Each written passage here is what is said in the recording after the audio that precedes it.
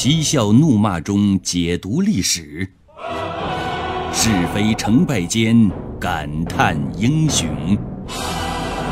请听《汉朝那些事儿》。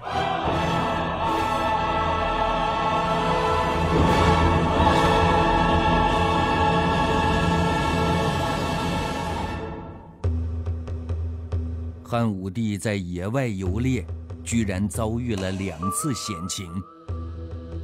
第一件事是终南山遭遇守株待兔。当时正十六七岁的汉武帝，在遭遇窦太后的打击之后，打猎成了他排遣心中郁闷的最好办法。那时候他没有固定的地方打猎，想到哪儿就到哪儿去。这一次到了终南山下，为了追一只兔子，汉武帝带着他的随从，在农田里对兔子展开了千里大追踪。结果兔子没抓到，自己却变成了一只兔子。原来农夫们看到自己的庄稼地被一群来路不明的不法分子糟蹋得不成样子，纷纷地抄起了锄头等农具。把汉武帝一伙人围了个严严实实。幸亏当地官员闻讯及时赶来，阻止了这次守株待兔事件升级为流血事件。事后，汉武帝只能高呼侥幸。第二件事儿，是新农民客栈遭遇四面埋伏。有一回，汉武帝微服私猎到白谷。白谷是哪儿呢？就是现在的河南省灵宝县。到了灵宝县，一看天色已晚，就找了个客栈住下。他们都忙碌了一天了，个个都饥渴难当，就大声向店主索要汤喝。按理说，客官向店主索要汤喝无可厚非，人家又没说不付钱。可都说态度决定一切。汉武帝手下那帮内侍平时就骄横跋扈惯了，此时都大喝大嚷，仿佛把客栈当成是自己的一亩三分地。客栈老板就有脾气了，没好气的回了六个字：“要汤没有，要命一条。”内侍们平常哪受过这样的气呀？一个个义愤填膺，就要发作，但都被汉武帝制止住了。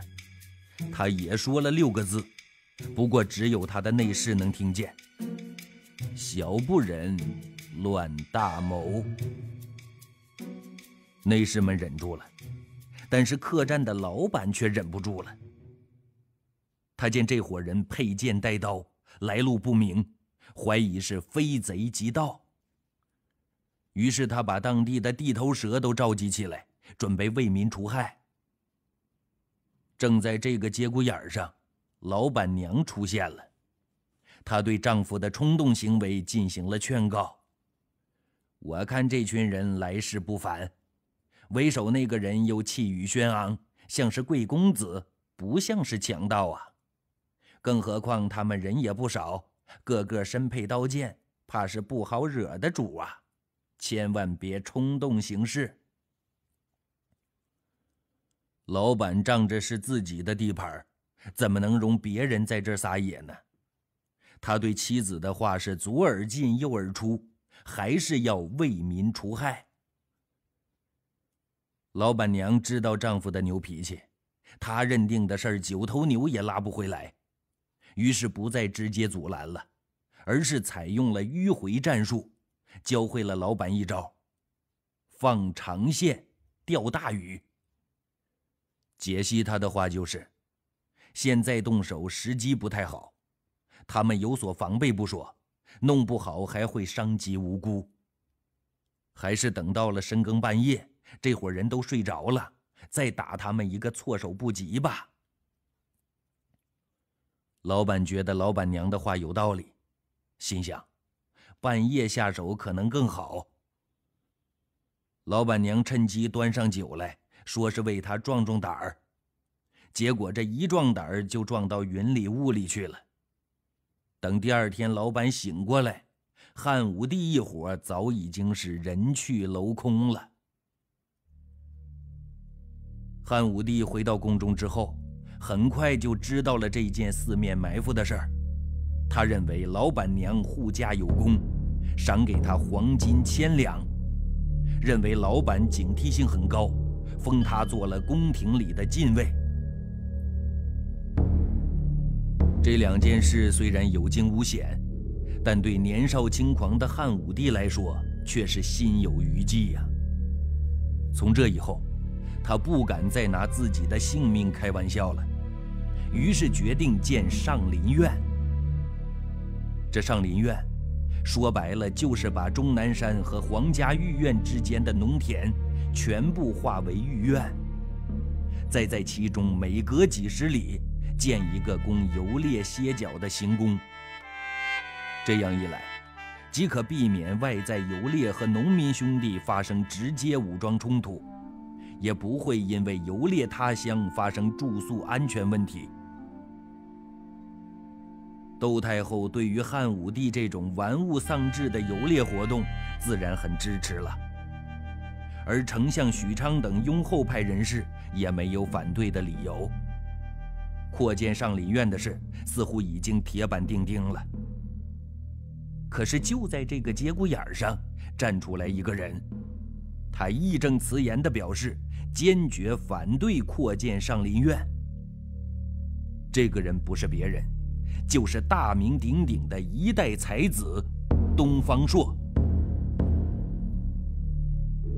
古往今来呀，一些有才华的人怀才不遇，往往会怨天怨地，怨天下慧眼识丁的伯乐太少。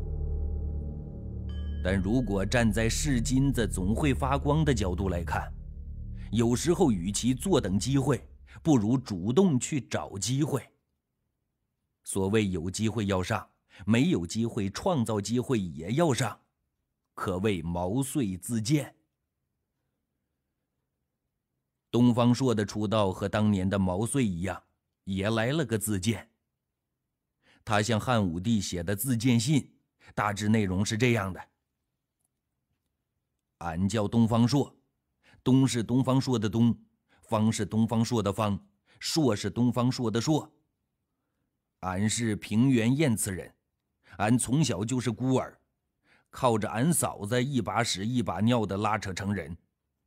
俺十二岁才开始读书，三年修的文史不分家。俺十五岁开始练剑，一年修的剑出无声。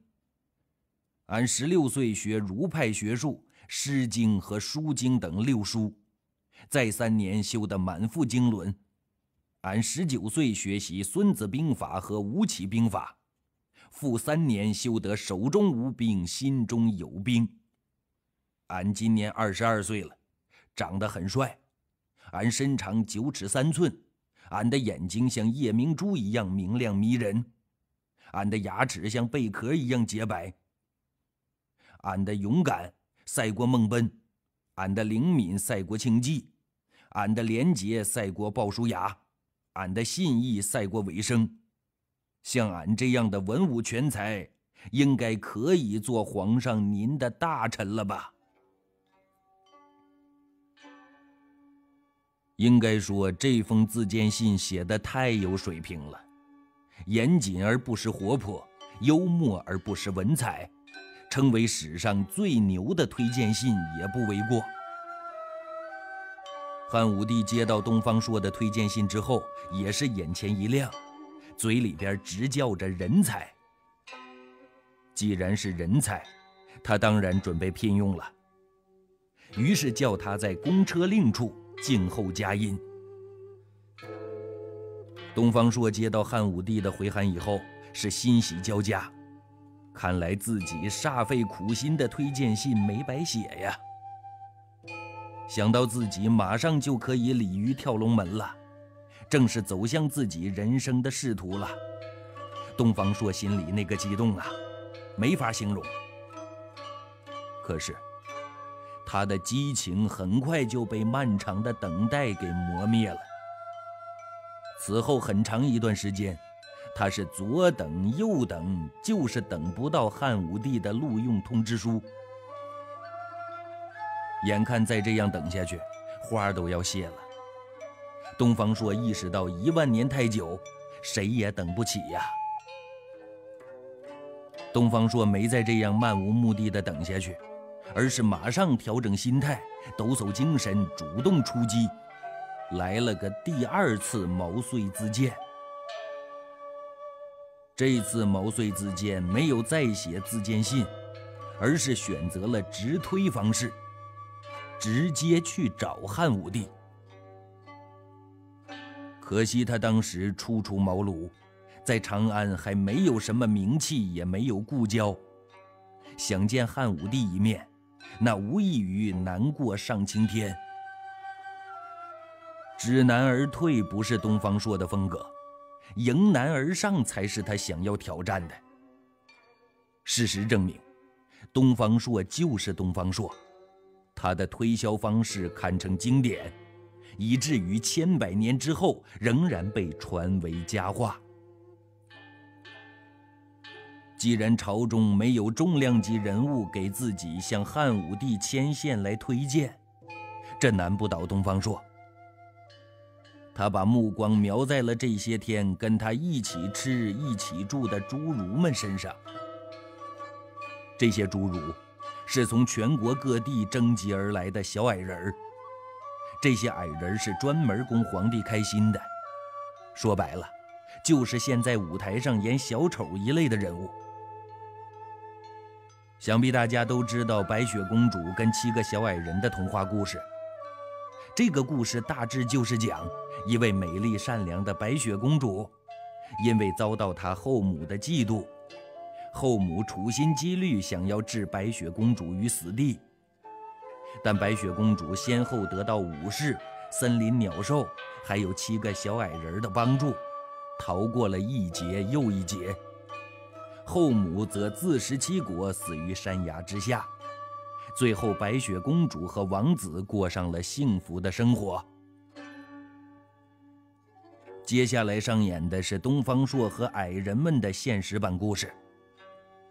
这一天，东方朔假装跟这帮矮人套近乎，套着套着，突然说出了一句石破天惊的话来：“你们的死期就要到了。”你们知道吗？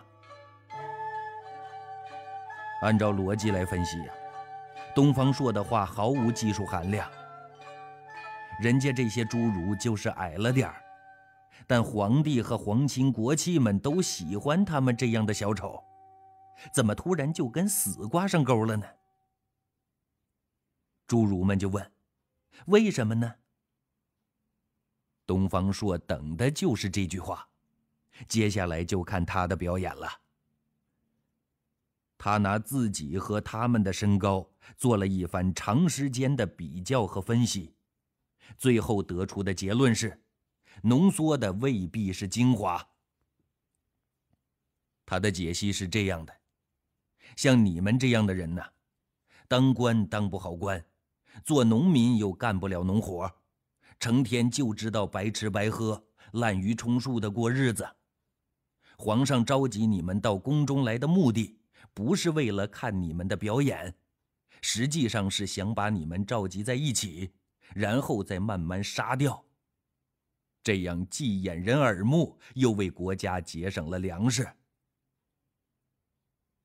应该说，东方朔的话明显带有狗屁不通的忽悠味儿。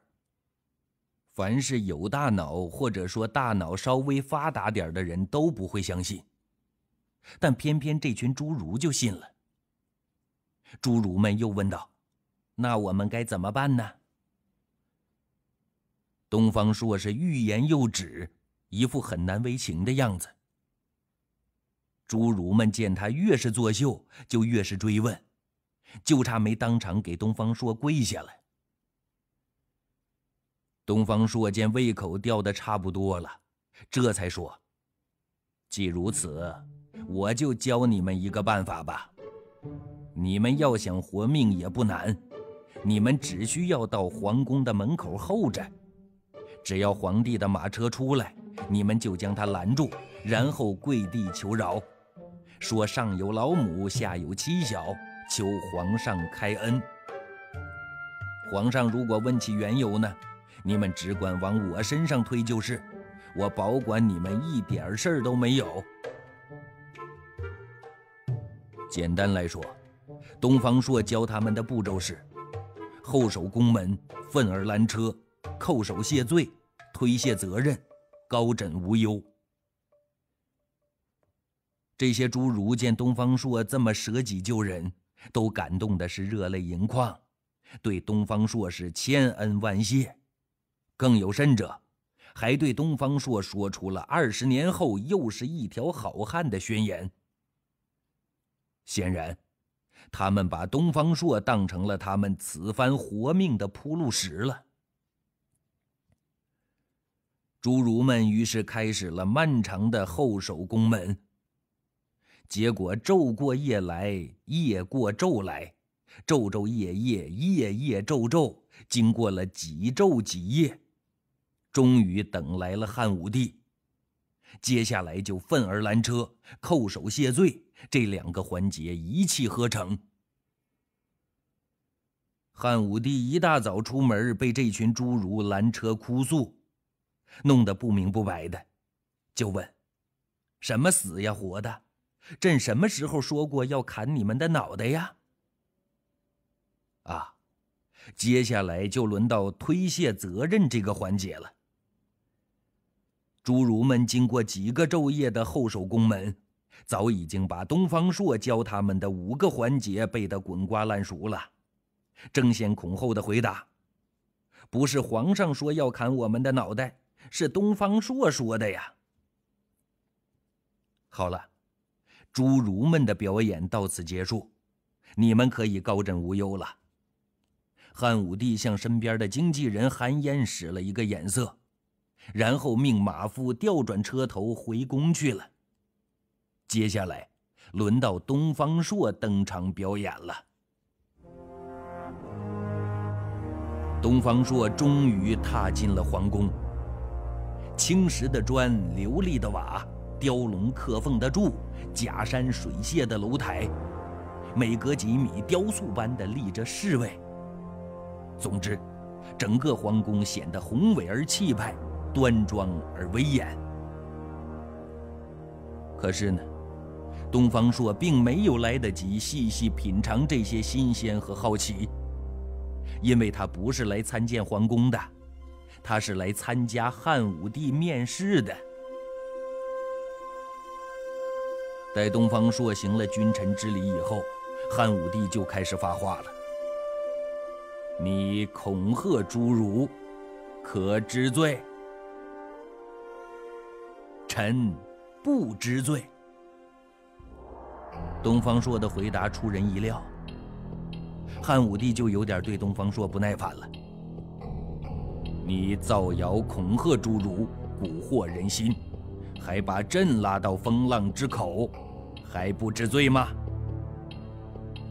东方朔从容的回答：“陛下乃万世之仁君，臣对陛下仰慕已久，日思夜想，只求能见陛下一面。”无奈庭院深深深几许，臣虽在长安，却不能见到陛下，故出此下策，只求一睹圣容。如有罪，亦是无心之罪。哦，那你冒死见朕，又是为了何事啊？汉武帝被东方朔这么一拍呀，已经是心花怒放了。但表面上还得装得一脸平静。那帮侏儒身长三尺，每月零米一袋，钱两百四十文。臣身长九尺多，每月也是零米一袋，钱两百四十文。侏儒们吃得满嘴流油，胀得上吐下泻，而臣却因为不够吃，肚子常常闹革命，几乎要饿死。陛下如果认为臣可以用，就应该让臣有不同于他们的待遇才对。如果不能用，那就放臣回去，也省得臣在这里挨饿，活受罪呀。东方朔的话明显带有正话反说的激将味道。对话就到此结束了。结果汉武帝对东方朔别出心裁的回答，很是认可。于是东方朔经过两次勇敢大胆的毛遂自荐，终于迎来了他的仕途生涯的第一个官——郎中。郎中是什么官呢？这个郎中的官啊，就是管理车骑门户的。